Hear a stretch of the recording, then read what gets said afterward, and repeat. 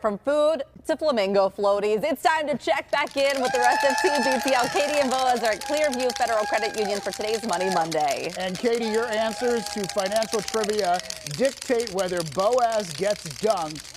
Are you ready for another one? Have you crammed and done any homework? I am ready. I tried to cram and study a little bit. Boaz also has Finance the Flamingo, who's supposed to be his good luck charm. So we're hoping that Janet can uh, help us out with the correct answer. Boaz, how do you feel? You feel good?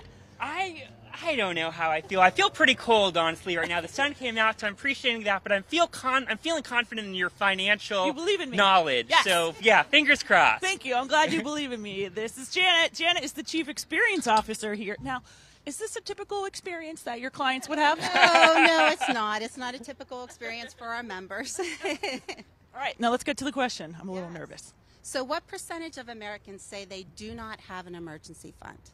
Is it A, 22%, B, 10%, C, 85%, or D, 31%? No emergency fund, zero, nothing. No no safety net, no backup plan. I'm going to have faith in the American people and say 10%.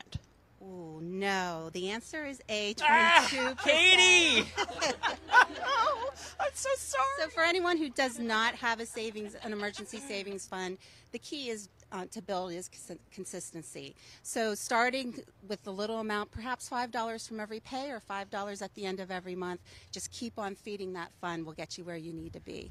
And I recommend that you open an account that is exclusive for the emergency fund, and that way your money doesn't mix with your spending cash. Right, you don't mix it, you don't touch it, pretend like it's not even there. Right, and then you build up your savings. Well, speaking of consistency, I'm at least consistently wrong. Well, if I'm if I'm dunking to ensure that more people have emergency funds, then I think that's worth yes, it. doing it for the people, Boaz. Let him go.